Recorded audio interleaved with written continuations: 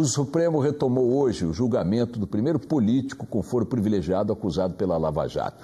O deputado federal Nelson Müller, do Partido Progressista, é acusado de receber quase 30 milhões de reais em propina de contratos da Petrobras. Já votaram dois dos cinco ministros que compõem a segunda turma do Supremo.